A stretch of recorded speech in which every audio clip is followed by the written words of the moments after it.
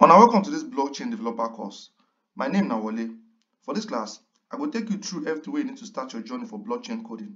We go pass through wetin be blockchain and we go see how everything dey work with our own eyes. From there, we go learn about Solidity wey be the language for smart contract on top all the blockchain wey dey work with Ethereum. Na smart contract dey behind all the token and NFT we dey buy with our money and Solidity we dey take dey build am. We go also follow up with JavaScript wey be the computer language of the web. Web na just all these websites we dey go wey be sey dey connect themselves on top internet. From there, we go learn about HTML wey be markup language. This one mean sey everything wey you see on top website na HTML na dey behind them. We go also look into im sister wey be sey na make all our website fine for eye. is na beginner class so we will take everything small small in two minutes class so um everybody go fit understand. Welcome.